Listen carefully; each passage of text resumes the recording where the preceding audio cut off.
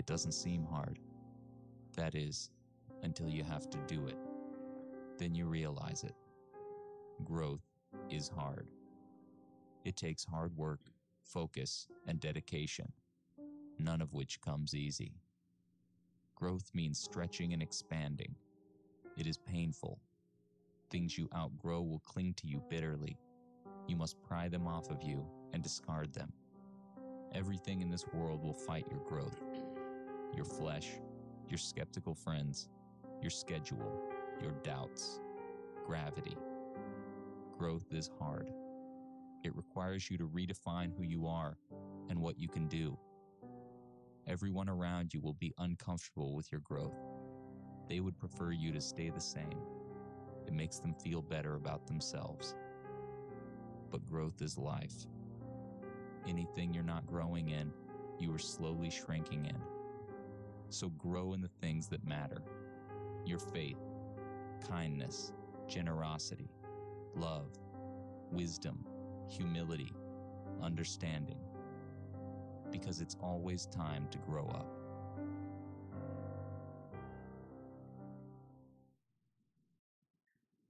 Well, growing up on a farm as a kid, there are two things that stand out in my mind about that farm uh, more than anything else how much I learned and how hard I worked. Because the farm is all about growing things, you know, plants and animals, which of course is a constant process of learning and working, right? When when you plant a garden, it doesn't magically grow by itself after you put the seeds into the ground, does it? No, those those plants require the right conditions, the right uh, soil, the right amount of sunlight, the right amount of water, the right amount of nutrients, right? And then, of course, there are the external threats to those plants that show up weeds that might choke out those plants or steal their nutrients, or wild animals that may try to consume or destroy those plants. But with enough understanding and hard work, tilling and weeding and watering and fertilizing and pruning and protecting, right? With enough understanding and enough hard work, the garden grows and it produces fruit. Well, animals are the same way. Uh, you have to provide the right environment, the right amount of food and water and shelter, and sometimes protection in order for those animals to grow and thrive and ultimately to produce whatever they're raised to produce. Okay, growth always requires learning and hard work. There's no way around it. Right? If you're if you're going to grow in your career, you're going to have to continue to learn about that job or that industry or, or your customers. And then, of course, work really hard to continually get better at what you do so you can produce more at that job. If your relationship with your spouse, your marriage, if, if that's going to grow, then you're going to have to continue to learn about one another and work really hard to make that relationship better, stronger, deeper, right? If, if you have a skill or even a hobby that you love and you want to get better at that hobby or that skill, if you want to grow in that ability, you have to be willing to learn everything that you can about it and then work really hard to get better at it. In fact, uh, if you listen to a professional athlete or a professional musician or an artist talk about how they reach the level of skill to become a professional in their field, there are two things they'll almost always talk about how much they learned about that sport or that instrument or that craft, and how hard they worked to become the very best that they could be. Okay? Uh, growth at anything, doesn't matter what it is, growth always requires learning and hard work because nothing grows by itself. And for, for the most part, I think we get that.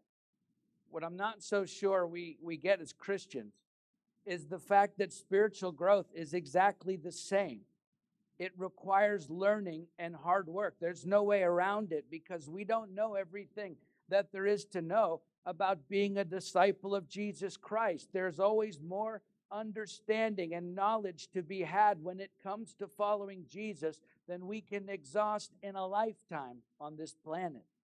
Becoming a disciple, of the man or the woman of God that He created us to become, that requires a lifetime of effort, a lifetime of work. In fact, at one point, uh, the Apostle Peter, who lived with Jesus himself for three years, he wrote to the church concerning some of the letters of Paul, the letters that Paul wrote about Jesus. right? The same Paul who never lived with Jesus. He, Peter wrote this about Paul's letters. He said, There are some things in them that are hard to understand, which the ignorant and the unstable twist to their own destruction, as they do the other scriptures. I just want to pause here for a second and, and we'll come back to the subject. But uh, just as a side note, you will often hear people talk about uh, the fact that when the New Testament writers were writing about Scripture and talking about Scripture, God breathing out Scripture, and, and all of those references we have, that they were only talking about the Old Testament Scriptures because they didn't have the New Testament in their time. Well, that's not entirely true. In fact, it's not true at all. They didn't have the New Testament compiled the way that we have now, right? And maybe some of those books weren't all completely written at the time. But the apostles, the, the New Testament writers very clearly considered uh, the other apostles' writings to be scripture on par with the Old Testament scripture. And that's clear in this passage as well, okay? So there are some things he says in them that are hard to understand in Paul's letters, which the ignorant and unstable twist to their own destruction as they do the other scriptures. So he's comparing Paul's letters to the other scriptures. And then he says, You therefore, Beloved, knowing this beforehand, take care that you're not carried away with the error of lawless people and lose your own stability, but grow in the grace and knowledge of our Lord and Savior Jesus Christ. 2 Peter 3 16 through 18. Okay, if some of Paul's letters about Jesus are hard for Peter to understand, after being with Jesus personally in the flesh for three years, if Peter has more to learn about Christ through the scriptures, then I think it's safe to say that we have more to learn about Christ through the scriptures as well. And in fact, Peter commands that we continue to learn all that we can. He says, grow in the grace and knowledge of our Lord and Savior Jesus Christ. Okay, spiritual growth requires a constant commitment to learning and hard work. There's no way around it. We're not talking about salvation, you understand. We cannot earn our salvation. That's a free gift from God. We're talking about once you come to a saving knowledge and faith in Christ, becoming a disciple. That's a lifelong process after salvation. Okay? Spiritual growth requires a constant commitment to learning and to hard work.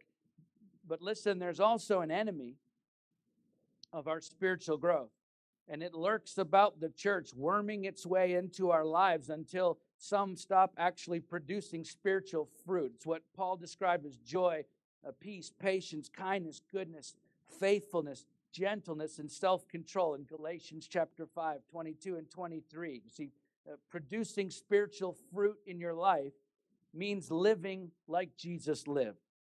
But listen, there's an enemy to that spiritual growth, and that enemy is complacency. Last week we talked about casual Christianity uh, in chapter 4 of Hebrews, a Christianity that costs us nothing. And today we'll be talking about complacent Christianity, a Christianity that produces nothing.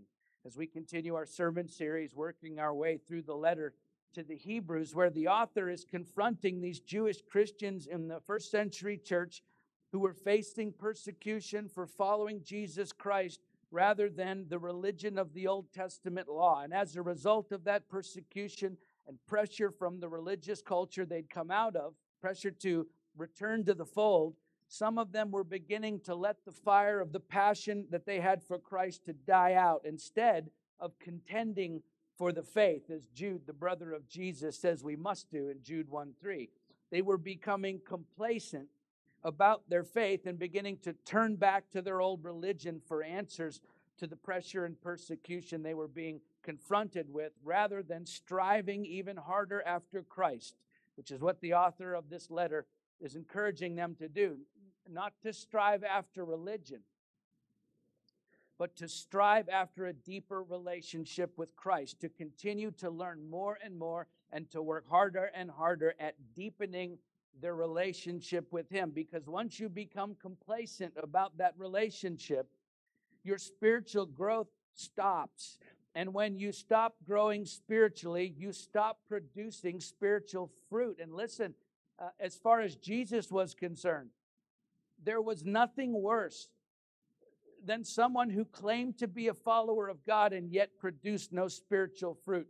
in their lives. In chapter 11 of Mark's gospel, starting at verse 12, Mark says that one day, while Jesus was walking with his disciples from Bethany, he says he was hungry. And seeing in the distance a fig tree in leaf, he went to see if he could find anything on it.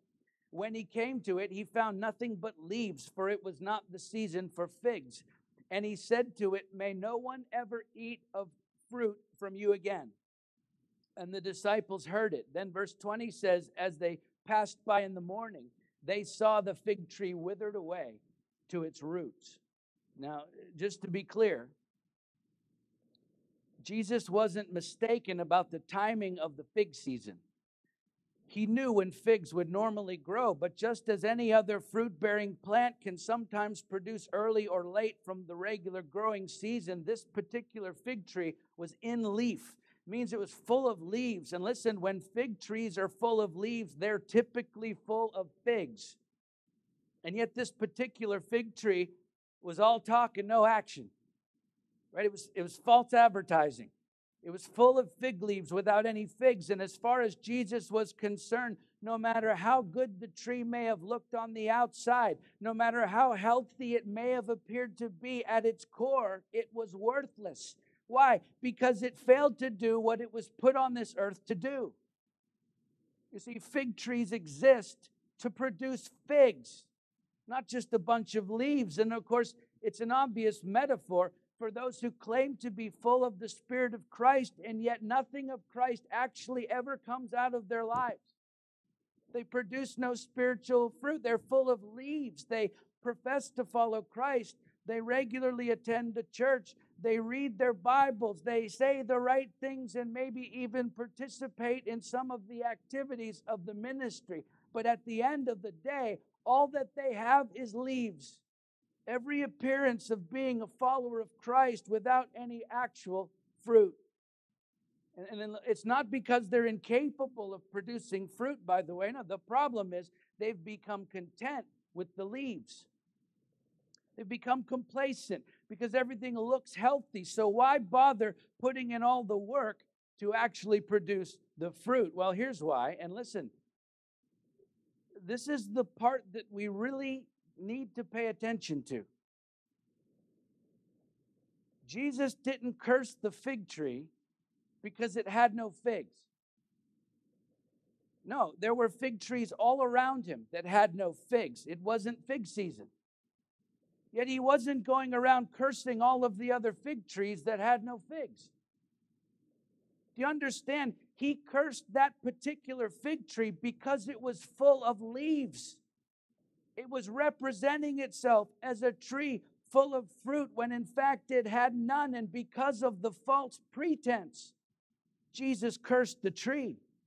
And in doing so, he not only performs, by the way, the only destructive miracle of his uh, ministry on earth, but he was issuing a sober warning to all who would listen of just how serious of an offense it is to God for Christians to have the appearance of fruit without the fruit itself. And therein lies the focus of the author of Hebrews in this portion of the letter that we're covering today. As he very harshly, to be honest, warns the church not to be complacent about Christ. And I would say this is a message the church needs to hear today, just as much as it did then. So let's turn there together to Hebrews chapter 4. We started that last week. We'll finish this chapter and see what we can learn about guarding against complacent Christianity. And then once we finish 4, we'll move through chapter 5 because it's very short. So we'll begin by reading Hebrews 4, verses 4 through 16. Excuse me, verses 14 through 16. Since then we have a great high priest who has passed through the heavens, Jesus, the Son of God. Let us hold fast our confession. For we do not have a high priest who is unable to sympathize with our weaknesses, but one who in every respect has been tempted as we are, yet without sin. Let us then with confidence draw near to the throne of grace that we may receive mercy and find grace to help in time of need. So, keeping in mind who the primary audience of this letter is, namely uh, Hebrew Christians, the author continues his discussion from chapters 2 and 3 about the fact that Jesus is the great high priest. And in this part of chapter 4, he really begins to explain the difference that fact can make in our daily lives. Because uh, in the Jerusalem temple, only the high priest could enter the most holy place. It was only once per year on the Day of Atonement, as outlined in Leviticus 16 and uh, Hebrews 9 7. So, uh, so access to the presence of God was limited to one man once per year. But now, by offering himself once for all, Jesus, as the great high priest, has made a way for all believers to draw near to God. So, unlike the days of old, the author says that God is now accessible to all believers. And yet, he goes even beyond that because he not only invites us into his presence through Christ, but because of what Jesus did for us, the author says that Jesus actually feels what we feel. We do not have a high priest who's unable to sympathize with our weaknesses. The ancient Greek word sympatheo or sympathize, as it is translated into the English in verse 15, it literally means to suffer along with. So Jesus feels what we feel. It's a concept that the Hebrew people really struggled with. In fact, uh, the ancient Jewish rabbis taught that God actually had two thrones one for mercy and one for judgment. Because although they knew that God was both merciful and just, they couldn't reconcile those two attributes of God in the same person. So they believed that God must have actually had two different thrones in order to be able to display such different opposing aspects as they saw it of his character. And the Gentiles, uh, by the way, weren't any better. To the ancient Greeks, the primary attribute of God was summed up in the Greek word apatheia, which was uh, the essential inability to feel anything at all. So along comes this letter, which turns all of these notions about God being unfeeling and unavailable completely upside down, as the author points out that through the finished work of Jesus, we can see the mercy and the judgment of God reconciled into one throne of grace.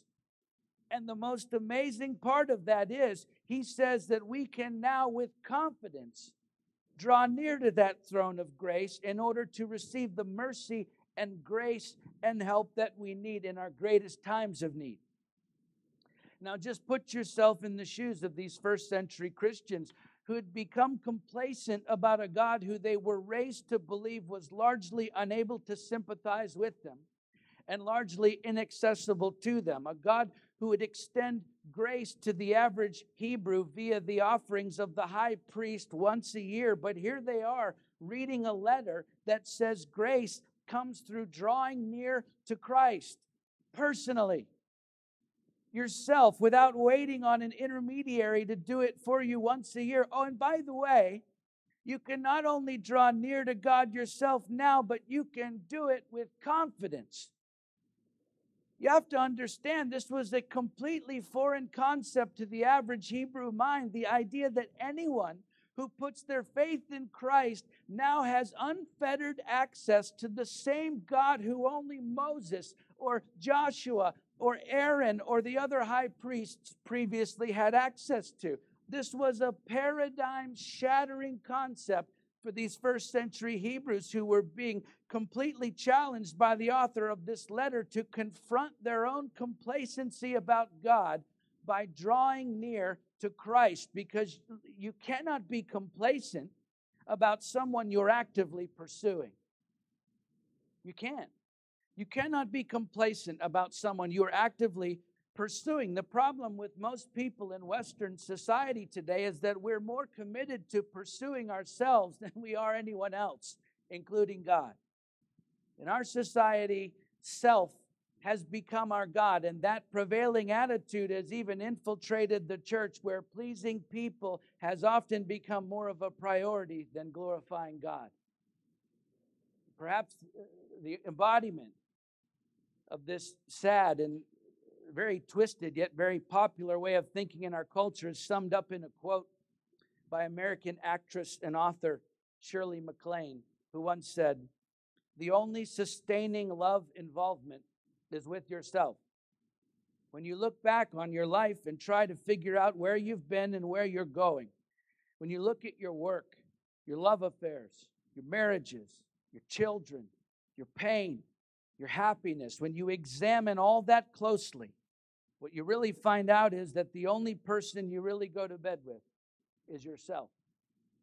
She also said, I don't need anyone to rectify my existence. The most profound relationship we will ever have is the one with ourselves.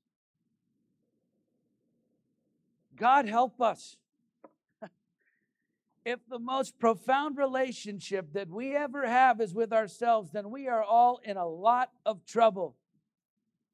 No, the most profound relationship that you could ever hope to have is actually the one that is available to every single one of us. It's a relationship with the one who is in the beginning with God, John 1 2. The Word who was with God and the Word who was God, John 1 1.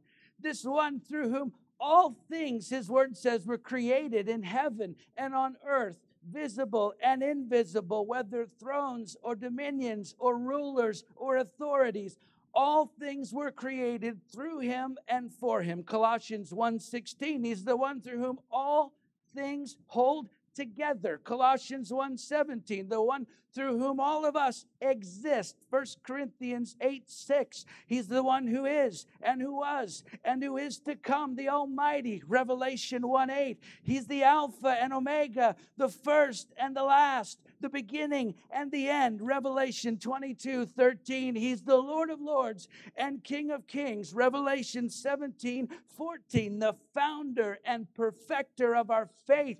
Hebrews 12 2. He's the good shepherd. John 10 11. The bread of life. John 6 35. The judge of the living and the dead. Acts 10 42. He is the Lamb of God who takes away the sin of the world, John 1 29. He's the light of the world, John 8 12. The lion of the tribe of Judah, Revelation 5 5. Your Savior, your Redeemer, the mighty one of Jacob, Isaiah 60 16. He's the one who sets you free, John 8 36. He is our hope. 1 Timothy 1 1, he is our peace. Ephesians 2 14, he is our Redeemer. Job 19, 25, he is our Savior. Luke 10, 11, he is the resurrection and the life. John 11, 25, he is in fact the one who forms the mountains and creates the wind and declares to man what is his thought, who makes the morning darkness and treads on the heights of the earth. The Lord, the God of hosts, is his name. Amos 4:13. We know him as Jesus Christ.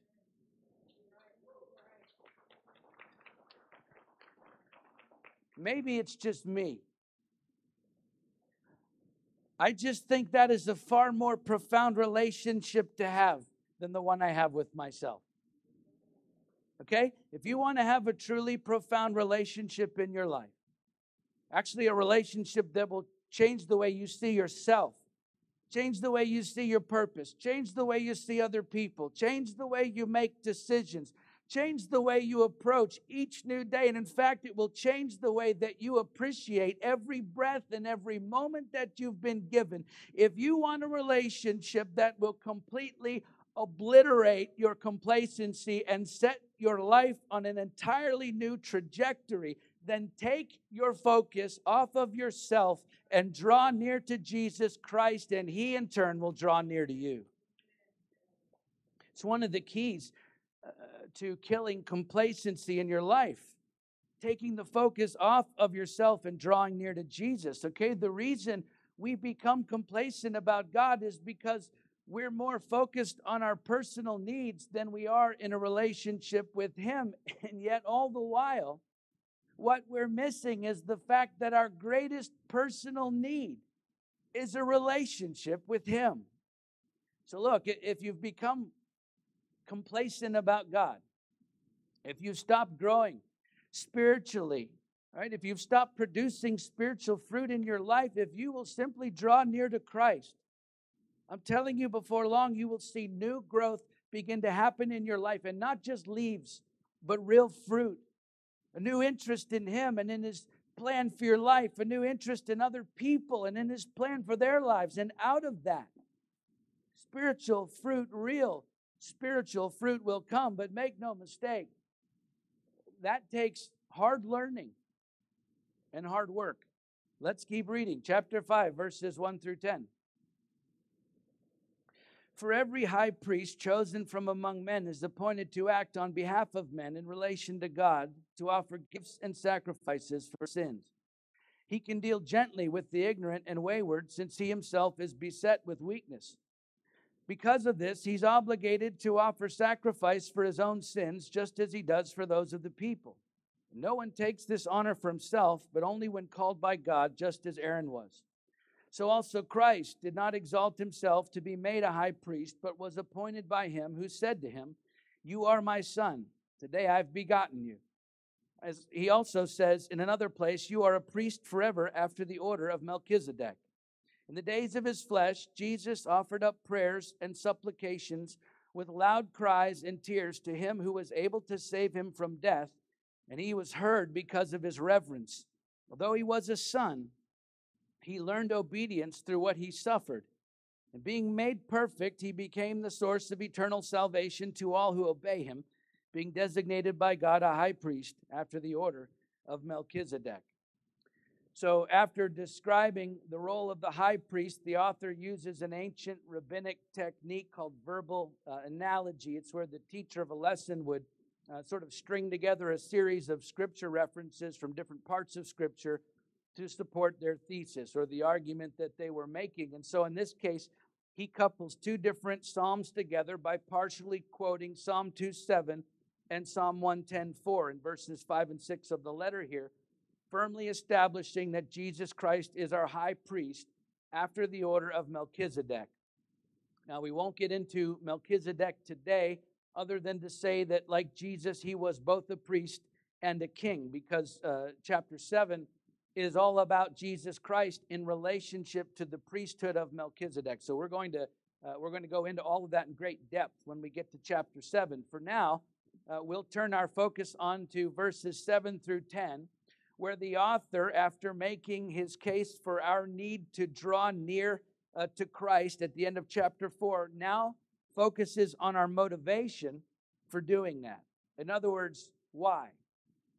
Right, why should we want to draw near to Christ? And the, the answer may not be what you expect, okay? You'll find that Christians have all sorts of motivations for pursuing a relationship with Jesus Christ. And although many of those may have some merit, there's really only one reason for pursuing Him that is primary to God Himself, and that reason is simple obedience. Speaking of Jesus, the author says, although He was a son, He learned obedience through what He suffered, and being made perfect, He became the source of eternal salvation to all who obey Him. So Jesus is the source of salvation to all who obey him. You see, we must learn to be obedient just as Jesus learned to be obedient. We're going to talk more about that in a moment. But first, how did Jesus learn that obedience? Well, it was through suffering. And likewise for us, obedience comes through suffering for Christ. And uh, listen, guys, this is the point where we, we need to pause and get really honest with ourselves about obedience. Why are we moved to draw near to Christ? What is our true motivation that drives us to pursue Him? Because honestly, if we're not careful, our motivation for pursuing a relationship with Jesus Christ will be based on the value system of this world rather than on the command of God, which I happen to believe is actually the case for many, many Christians today. In fact, in fact, I would say that the modern church is guilty of selling people on a relationship with Jesus Christ based on the world's value system rather than on God's will. Here's what I mean. Is your primary motivation for drawing near to Jesus Christ based on a blessing that you may get out of it? Now, listen, there's untold blessing to be had when we draw near to Christ without question. But is that your primary motivation for doing so, or is it simple obedience to his call to do so? Is your primary motivation for drawing near to Christ uh, shelter from some kind of storm in your life, something difficult maybe that you're dealing with. And listen, without question, we find shelter in the shadow of the Almighty, 91 1. But the question is, is that your primary motivation for drawing near to Him, or is it simple obedience to His call to draw near to Him? Is your primary motivation for drawing near to Christ the feeling you get when you're close to Him? And I'll just tell you, there is no other feeling in this world like it. But is that your primary motivation for drawing near to Christ? Or is it simple obedience to the fact that He has called you to draw near to Him? Please understand, this is profoundly important that we figure this out in our own lives because investing in something primarily in order to get something back out of it that we want is a facet of the value system of this world, not of God.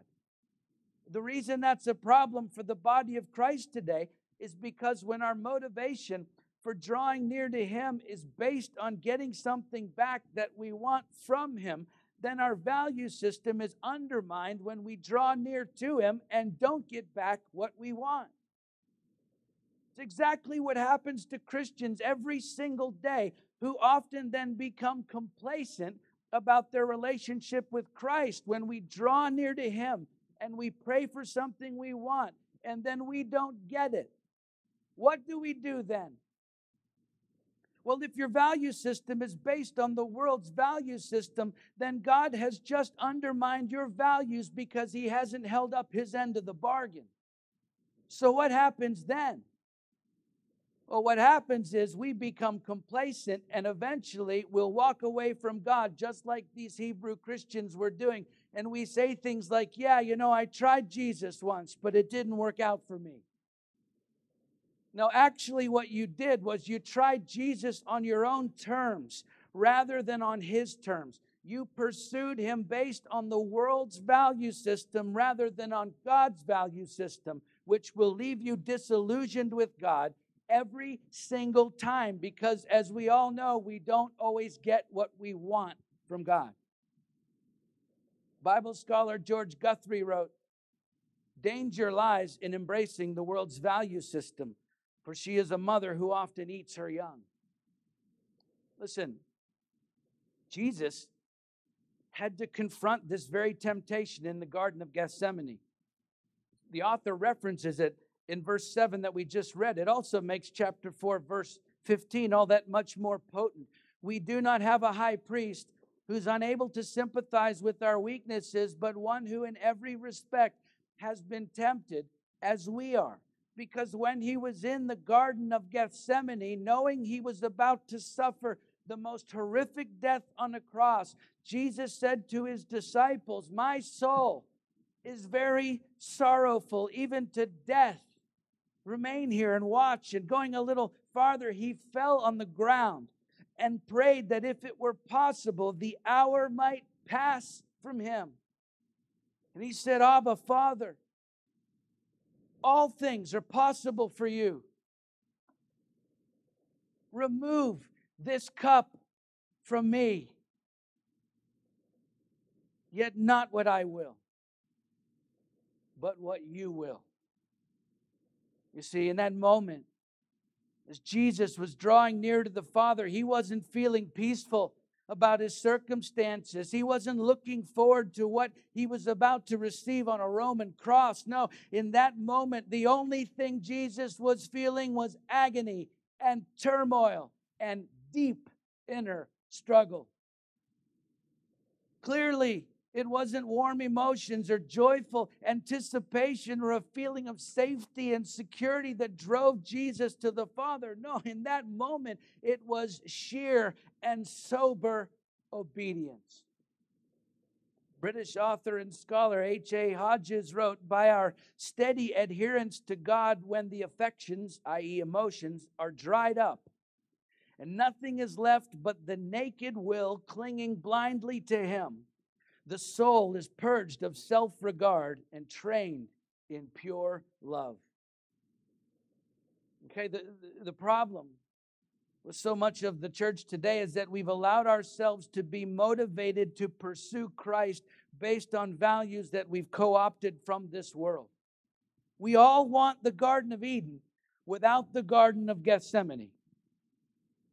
And yet, that, that reality doesn't exist in God's value system where obedience, he says, comes through suffering.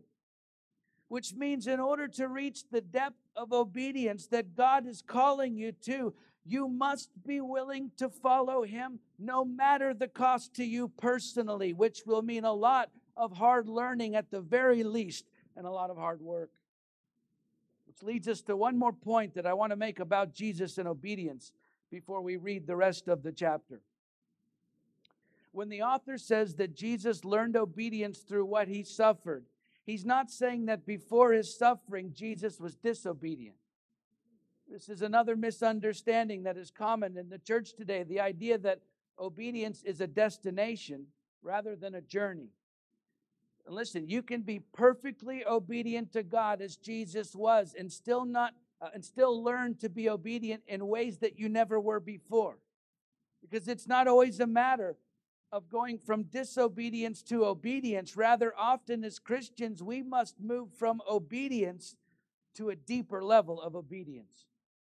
Okay, you can be perfectly obedient to God's will today, and yet tomorrow He calls you to a whole new level of obedience, a deeper level of obedience, because it's a journey, not a destination.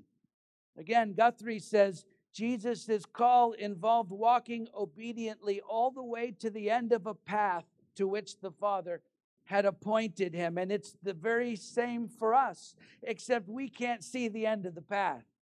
In fact, often we can't even see the next step on the path, which is why obedience is so critical in our journey of following Christ. We must be willing to follow him even when that means suffering for his sake, being willing to go wherever he calls you to go, no matter the cost to you personally, which is the only way you will ever truly walk the entire path that he's called you to walk in this lifetime. Let's finish the chapter then, verse 11 to the end. About this, we have much to say, and it is hard to explain since you've become dull of hearing. For though by this time you ought to be teachers, you need someone to teach you again the basic principles of the oracles of God. You need milk, not solid food. For everyone who lives on milk is unskilled in the word of righteousness, since he is a child. But solid food is for the mature, for those who have their powers of discernment trained by constant practice to distinguish good from evil. So uh, the author starts out with the importance of drawing near to Christ. And then he talks about our motivation for doing that, which should be obedience above all else. And then he finishes the chapter here by talking about the spiritual fruit that drawing near to Christ through obedience should produce in our lives, namely uh, a church full of mature Christians. But the problem for the author and for the church today, and for that matter, the church in every age, is that we have often become dull of hearing. We're so used to being preached to and led in worship and prayed for and cared for and reassured by the church. And listen, that's the way it should be. That's all good. However, we can become so used to all of that one way spiritual input into our lives that we become dull of hearing it we become so used to it all that it loses its force in our lives. And before long, we've become complacent about the word of Christ in our lives. It's just, it's just what the author was confronting here. So he says, Look, you've become dull of hearing. For though by this time you ought to be teachers, you need someone to teach you again the basic principles of the oracles of God. He's talking about the basic concepts of the Word of God. He says you need milk not solid food. Solid food is for the mature, for those who have their powers of discernment trained by constant practice. You see what he's saying here? It's time to grow up. It's time for you to mature. And yet, the spiritual maturity you need doesn't simply come by hearing the word of Christ. No, maturity comes through practicing the word of Christ. Constant practice, he says, hard learning and hard work. So it's great to come to church and receive. You should do that. But if that is all that you ever do, then your life will be full of leaves without any fruit. Because you must do more than just receive, you must put what you receive into practice. Constant practice, in fact, for that is how you mature and ultimately produce spiritual fruit in your lives. And by the way, uh, this wasn't spoken by the author out of anger or arrogance. He wasn't looking down his perfect nose at these uh, broken people. No, this was a heartfelt pleading from a preacher based on a desperate love for God's people. And we see it throughout the scriptures, from the prophets to the apostles to the pastors throughout God's word. The admonition to do more than just receive the word of God, but to practice the word of God. James, the brother of Jesus, put it this way Be doers of the word and not hearers only, deceiving yourselves. For if anyone is a hearer of the word and not a doer, he is like a man who looks intently at his natural face in a mirror, for he looks at himself and goes away and at once forgets what he was like. In other words, he becomes dull of hearing. Right? But the one who looks into the perfect law, the law of liberty, and perseveres, the one who puts in the time, the effort, the hard learning, and the hard work, being no hearer who forgets, but a doer who acts, he will be blessed in his doing. James 1 22 through 25. Okay, we, we come here at least once a week to worship together, to serve one another together, to fellowship together, and to learn together. And all of that is vital to our personal growth and vital to the health of the body of Christ. It's all good, but your call, listen, your call goes beyond these walls, which means the next question is what are you doing outside of these walls together to put into practice, constant practice, what you're learning together within these walls? Because I'm telling you, Nothing will kill complacency faster in your life than putting God's word into practice in your life. The Apostle Paul wrote, For the grace of God has appeared, bringing salvation for all people, training us to renounce ungodliness and worldly passions, and to live self controlled, upright, and godly lives in the present age, waiting for our blessed hope, the appearing of the glory of our great God and Savior Jesus Christ who gave himself up to redeem us from all lawlessness and to purify for himself a people for his own possession who are what? Zealous for good works. Titus 2 11 through 14. Are you zealous for good works? Do you find yourself excited by opportunities to put God's word into practice? Does the possibility of exercising His Word in your life when you meet someone new or learn something new in the Word, does that inspire you to action? Or have you become dull of the hearing of it, complacent about your faith and what you've learned, always receiving but never giving? If so, let me just encourage you today. It's time to grow up. It's time to take that next step in your journey. It's time to get off the bench and into the game. It's time to put into practice what you've learned. It's time to produce more than just leaves that make you healthy. It's time to produce mature spiritual fruit which proves that you are healthy. We'll be talking about this more next week, but you understand when a tree produces fruit, it's not the tree that consumes that fruit. No, the fruit is for those around that tree who need its fruit to survive. We don't produce spiritual fruit to make us healthy. We produce spiritual fruit because we are healthy, which means others can feed on that fruit and in turn grow and become healthy themselves. You see, your spiritual maturity is not just about your health, it's about others who need you desperately to be healthy so they can be healthy too. Which means, on the flip side, your complacency isn't just hurting you, it's also denying others the nourishment that they need from you.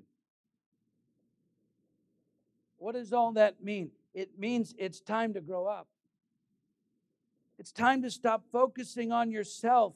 It's time to start obeying God's word when you feel like it. And guess what? When you don't feel like it. And it's time to begin producing real spiritual fruit in your life by putting what you've learned into constant practice. Listen, I don't want to be a tree full of leaves but no fruit.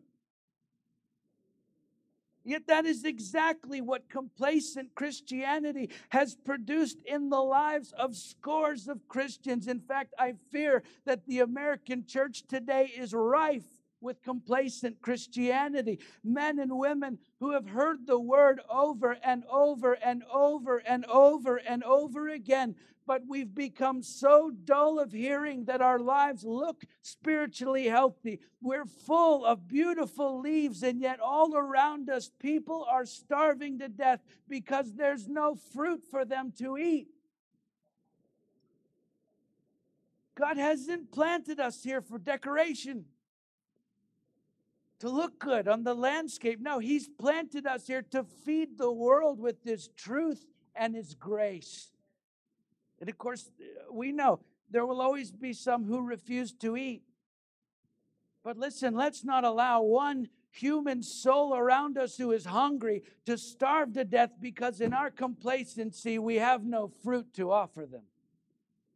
No, I, I say together, I say we kill complacency in our lives by drawing near to Jesus Christ in obedience to that call, no matter the cost to us personally, no matter how much hard learning and hard work it takes. And then together, let us put into practice what we've learned that no one, that no one would ever fall victim to a church that is complacent ever again.